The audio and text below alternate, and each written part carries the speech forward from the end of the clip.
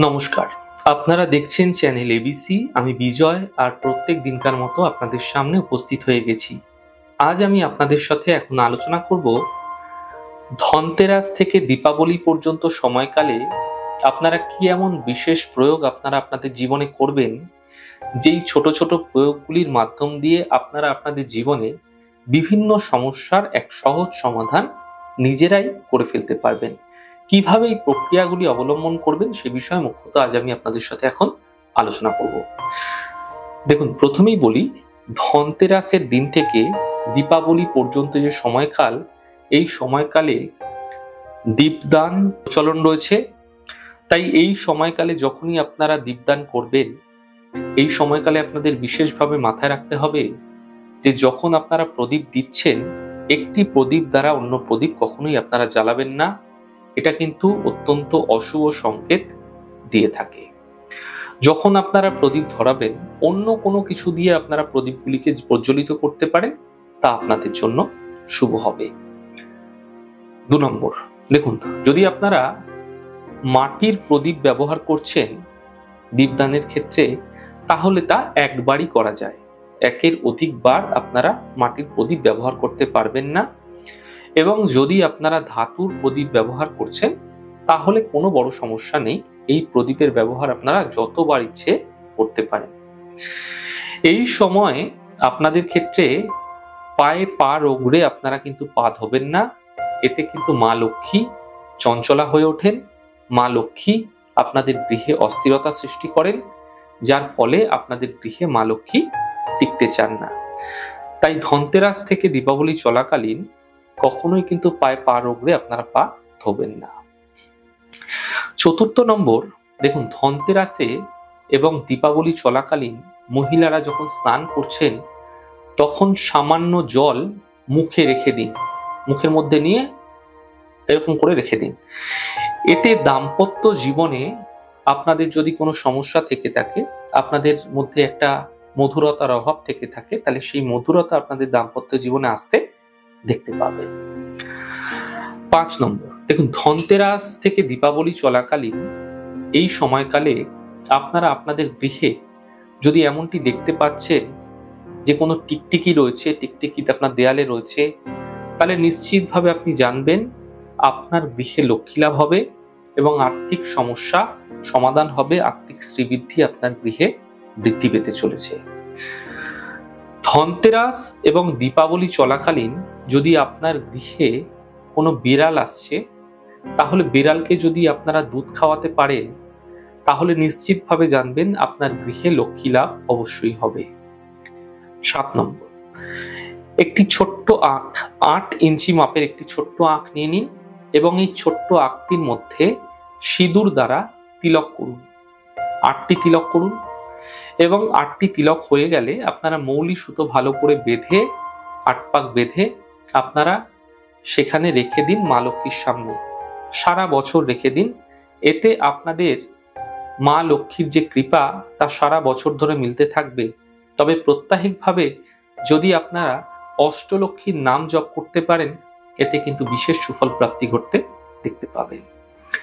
আট নম্বর, দেখুন এই দীপাবলির যে সময়কাল এই সময়কালে মা লক্ষ্মীর স্থানে যদি আপনারা আটটি আমলকি, গোটা আমলকি লাল কাপড়ে বেঁধে একত্রে আপনারা মা লক্ষ্মীর সামনে রেখে দিচ্ছেন সারা বছরের জন্য, যেমন অষ্টলক্ষ্মী রয়েছেন এই অষ্টলক্ষ্মীর যে নাম রয়েছে, তা হলো আদ্যালক্ষ্মী, বিদ্যালক্ষ্মী, সৌভাগ্যলক্ষ্মী, অমৃতলক্ষ্মী, কামলক্ষ্মী, সতীলক্ষ্মী ভোগলক্ষ্মী এবং যোগলক্ষ্মী। এই নামগুলো বলে আপনারা সেখানে এই আমলকিগুলি রেখে দিন। এতে আপনাদের সারা বছর জুড়ে কিন্তু আর্থিক ক্ষেত্র মজবুত হতে দেখতে পাবেন। দেখুন, ধনতেরাসের এই বিশেষ পর্ব চলাকালীন কখনোই কিন্তু কারও থেকে আপনারা ধার নেবেন না এবং কখনোই কিন্তু আপনারা কাউকে ধার দেবেন না। এতে আর্থিক সমস্যা নিশ্চিতভাবে আপনার জীবনে বৃদ্ধি পেতে দেখা যাবে। দশ নম্বর বলব, আপনাদের ক্ষেত্রে ধনতেরাস থেকে দীপাবলি পর্যন্ত যে সময়কাল থাকছে, আপনাদের এই সময়কালে যখনই আপনারা স্নান করবেন, স্নানের পূর্বে সামান্য হলেও আপনারা চামিলির তেল আপনার শরীরে মেখে নিন। এতে এক তো আপনাদের ক্ষেত্রে শত্রুতা সম্বন্ধীয় সমস্যায় এক সমাধান মিলতে পারে এবং একই সাথে মা লক্ষ্মীর আশীর্বাদও কিন্তু আপনার জীবনে পড়ে থাকে, যা অর্থনৈতিক ক্ষেত্রে শ্রীবৃদ্ধি আপনার জীবনে ঘটাতে সাহায্য করে। তাই এই সময়কালে আপনারা চামেলির তেল মেখে স্নানাদি সম্পন্ন করুন, শুভ হবে। দেখুন, ধনতেরাসে ধন্বন্তরী দেবী এবং আপনারা হলুদ মিষ্টি যদি ধন্বন্তরী দেবীকে দিচ্ছেন এবং মা লক্ষ্মীকে যদি সাদা মিষ্টি দিচ্ছেন, কুবেরজিকে সাদা মিষ্টি দিচ্ছেন ভোগে, গণেশজিকে ভোগে লাড্ডু ভোগ দিচ্ছেন, এমনটি ভাব, এমনভাবে যদি আপনারা পূজা উপাসনা করছেন, এতে আপনাদের জীবনে কিন্তু শ্রীবৃদ্ধি এবং বিভিন্ন বাধা বিঘ্নের সম্মুখীন আপনারা যেগুলো হচ্ছিলেন, সেই সমস্যা থেকে আপনারা সমাধান পেতে পারেন। দ্বাদশ নম্বর বলব, কুবেরজির একটি ছোট্ট মন্ত্র, আর কুবেরজির কৃপা আপনাদের জীবনে আর্থিক ক্ষেত্রেই কুবেরজি ফেলে থাকে। কুবেরজি ধন, সম্পদ, বৈভব দিয়ে থাকে আমাদের জীবনে। তাই যদি আপনারা কুবেরজির এই কৃপা লাভ করতে চাইছেন, তাহলে কুবেরজির একটি ছোট্ট মন্ত্র রয়েছে, ওম শ্রিং, ওম রিং ক্লিং শ্রিং ক্লিং বিত্তেশ্বরায় নম। এই মন্ত্রের জপ যদি আপনারা স্ফটিকের মালায় একশো আটবার করে, ধনতেরাসের এই বিশেষ পর্ব চলাকালীন, দীপাবলির এই বিশেষ পর্ব চলাকালীন প্রত্যায়িকভাবে করছেন এবং প্রতিনিয়ত যদি আপনারা করে যাচ্ছেন, তাহলে নিশ্চিতভাবে আপনার কুবেরজির কৃপা লাভ হবে এবং অর্থনৈতিক ক্ষেত্রে সুফল প্রাপ্তি করতে দেখতে পাবেন। দেখুন, মা লক্ষ্মীর একটি ছোট্ট মন্ত্র আপনাদের সাথে বলি। ওম শ্রী শ্রী মহালক্ষ্মী আয় নম। এই মন্ত্রটি যদি প্রত্যাহিকভাবে ধনতেরাসের দিন থেকে সম্পূর্ণ দীপাবলি পর্যন্ত এবং প্রত্যাহিকভাবে যদি আপনারা করে যেতে পারেন, পদ্মবীজের মালা একশো আটবার করে এই মন্ত্রটি মা লক্ষ্মীর অত্যন্ত বিশেষ প্রিয় এবং এই মালাটি যদি আপনারা মায়ের গলায় পরিয়ে দিতে পারেন, তাহলে তাও কিন্তু আপনাদের ক্ষেত্রে আর্থিক সমৃদ্ধি বৃদ্ধি করাতে সাহায্য করবে।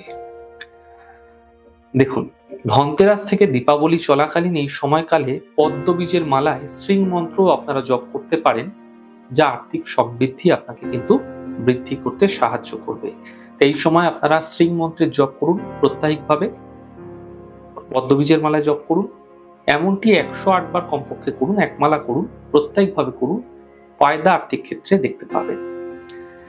ধনতেরাস এবং দীপাবলি চলাকালীন গণেশজি মা লক্ষ্মী, কুবেরজি এদের ওপর প্রত্যাহিকভাবে গোলাপের আতর সামান্য সামান্য ছিটিয়ে দিন।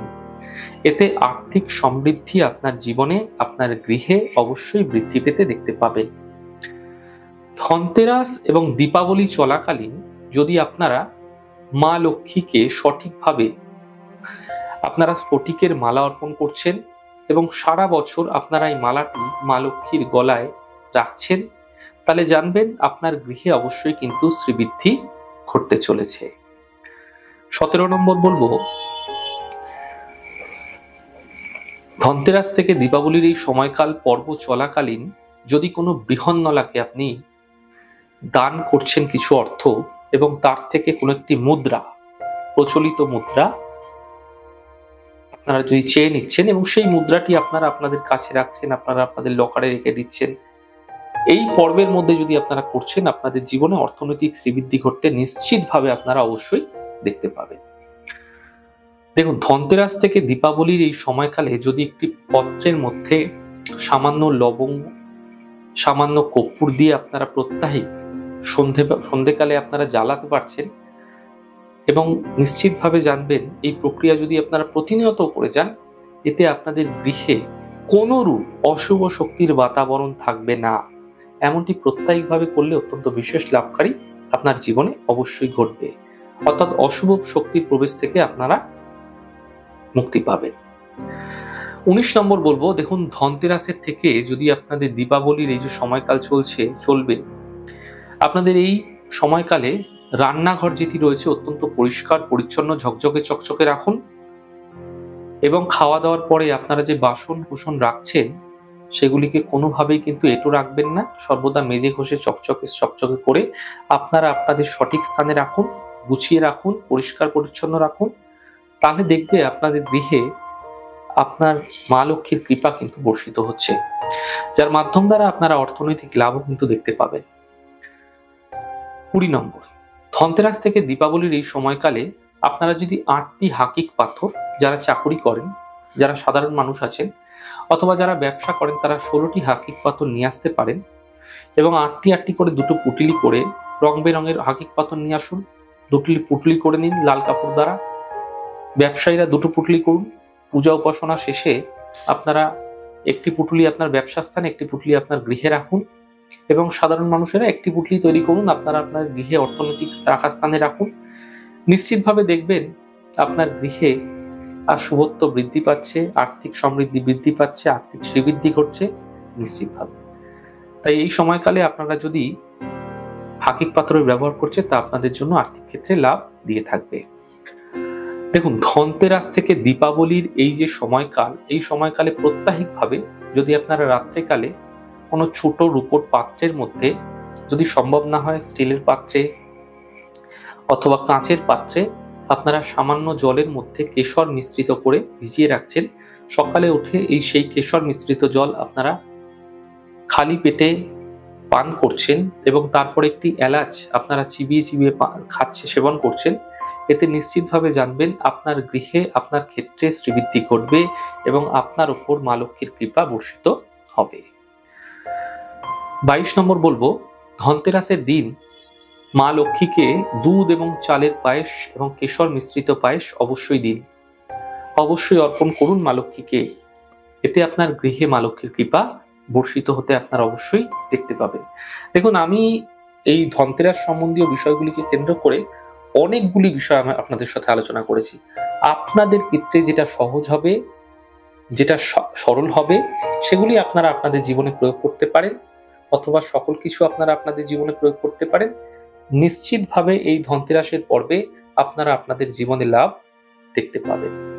তাই ধনতেরাসের এই পর্ব আপনাদের ক্ষেত্রে মঙ্গলময় হোক, অনেক বেশি সাফল্য নিয়ে আসুক আপনার জীবনে, এই ভগবানের কাছে প্রার্থনা করি। আপনাদের যদি আমাদের এপিসোডগুলো ভালো লাগছে, তাহলে অবশ্যই কিন্তু লাইক করতে, কমেন্ট করতে, সাবস্ক্রাইব এবং শেয়ার করতে বন্ধুদের সাথে ভুলবেন না। অনেক অনেক ভালো, সুন্দর, সুস্থ থাকবেন।